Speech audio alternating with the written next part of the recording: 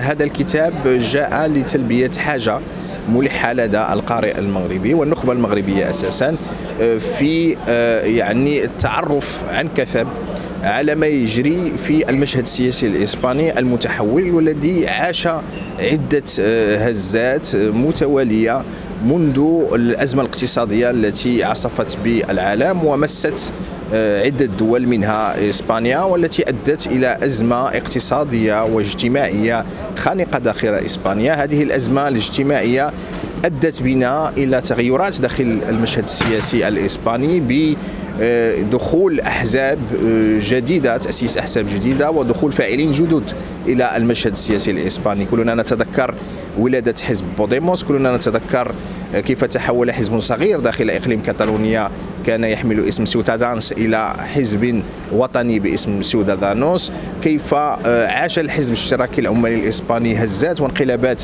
داخلية أدت إلى ظهور قيادات جديدة لعل الاسم البارز فيها هو بيدرو سانشيز رئيس الحكومة الإسبانية الحالية.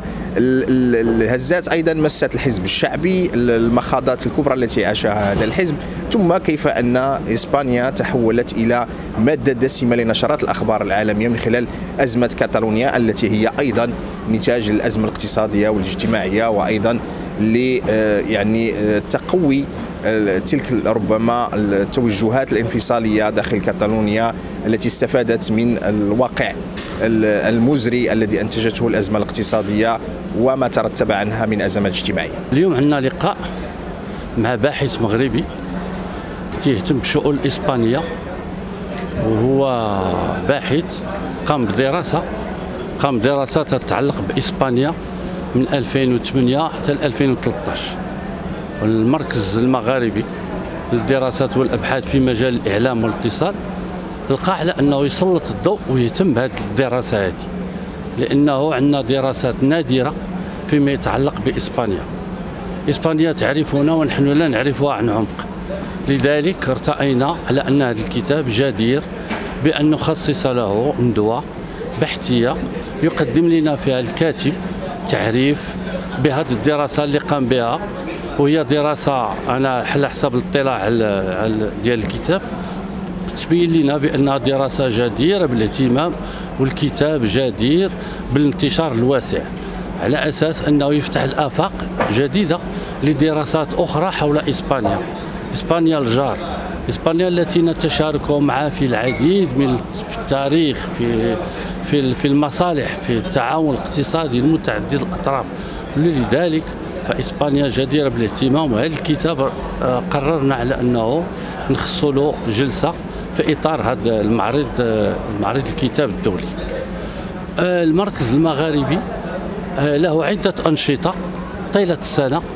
ونهتم في مجال خاصة الندوات أو في مجال الاهتمام بعض الكتب والإصدارات المغربية اللي كتناول قضايا تهم الإعلام تهم السياسة لذلك هذا آه هذا المجهود هذا هذا اللقاء ديال اليوم يندرج في إطار الأنشطة ديال المركز المغربي للدراسات والإعلام والاتصال.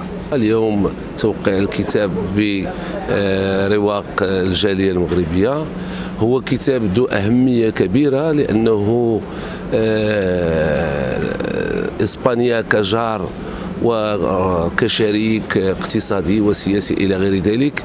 آه، لنا معه علاقة كبيرة جدا ولكن ربما الكتابات التي تدور حول إسبانيا تحليل الوضع السياسي إلى غير ذلك. ربما هي لا ترقى إلى مستوى ذلك التشابك وذلك آه، العلائق التي تربطنا بإسبانيا.